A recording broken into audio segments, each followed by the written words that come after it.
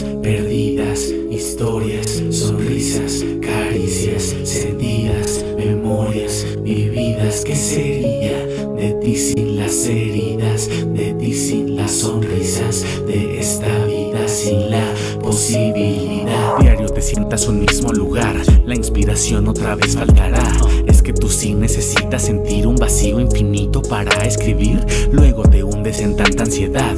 Por dentro guerra más demuestras paz. Tendrás que elegir una opción entre ser escritor y sentirte feliz. No, pero debes demostrarlo. Vivir sufriendo no es sano. Ya resististe mil daños. Tiene que haber algo más, ¿no?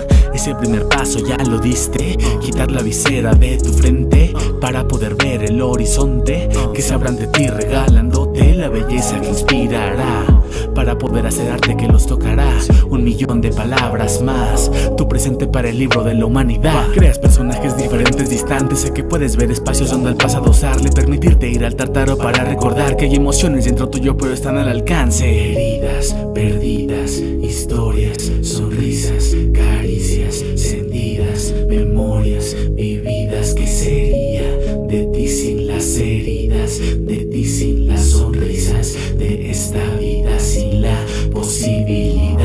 ya no debes sobrepensar, buscando males los vas a encontrar.